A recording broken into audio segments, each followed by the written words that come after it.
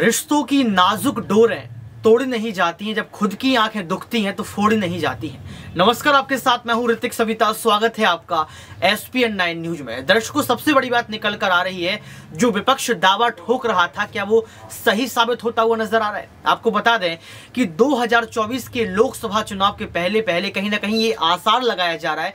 ये आशाएँ बढ़ रही हैं कि हो सकता है कि पूरा विपक्ष एकजुट होकर महागठबंधन कर ले। लगातार कभी देखा जाता है कि अरविंद केजरीवाल के साथ जो है अखिलेश यादव नज़र आते हैं।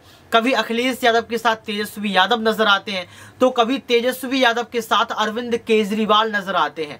आपको ये तस्वीर दिख रही होगी, जिस तस्वीर में साफ़ तौर पर देखा जा सकता है कि अरविंद केजरीवाल और तेजस्वी यादव एक साथ नज़र आ रहे हैं।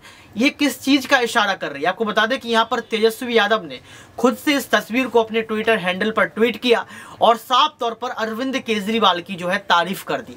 महज दस साल में अरविंद केजरीवाल राष्ट्रीय पार्टी बन के उभरे हैं और लगातार देखा जा रहा है कि जो नौ राज्यों के विधानसभा चुनाव होने हैं, उसमें लगातार प्रवेश कर रहे हैं। तो क्या तेजस्वी यादव को ये पता है कि अगर अरविंद केजरीवाल के साथ आते हैं तो कहीं ना कहीं लोकसभा चुनाव में बड़ा खेला बीजेपी के साथ कर सकते हैं। देखिए, क्या कुछ तारीफ़ की है, उस पर नज़र डालेंगे। यहाँ पर ट्वीट में तेजस्वी ने मुलाकात के दौरान हुई, बातचीत के भी कुछ अंश साझा किए।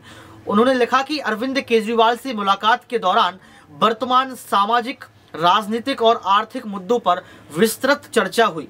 बीजेपी पर निशाना साधते हुए कहा कि सभी को मिलकर उनको उनसे देश को बचाना। यानी कि इस लाइन को आप ध्यान से सुनेंगे तो कहीं ना कहीं आपको महागठबंधन जैसी तस्वीर नज़र आएगी। उन्होंने कहा है कि जो एक साथ मिलकर बीजेपी से देश को बचाना है। तो दर्शकों, आप समझ सकते हैं कि कहीं ना कहीं ये चीज़ है कि यहाँ पर आने वाले समय में अरविंद केजरीवाल अखिलेश यादव, तेजस्वी यादव, वही देखा जाए तो जयंत चौधरी क्षेत्रीय दल की बात कर लेते हैं। तमाम दल जो है, वो एक साथ आकर बीजेपी को कड़ी मात दे सकते हैं। लेकिन दर्शकों, दो हज़ार चौबीस के लोकसभा चुनाव में क्या बीजेपी पार्टी को ये लोग मात दे पाएँगे? क्या बीजेपी पार्टी को हरा पाएँगे? क्योंकि सी वोटर्स का सर्वे आज भी जो है लगातार यहाँ पर दलील पेश कर रहा है कि आने वाले समय में बीजेपी पार्टी ही जो है 2024 में अपनी सरकार बनाने वाली है, चाहे गठबंधन हो और चाहे कुछ भी हो। लेकिन इस तस्वीर को देखने के बाद आपको क्या लगता है, क्या गठबंधन होगा? क्या तेजस्वी यादव और अरविंद केजरीवाल एक साथ आएँगे?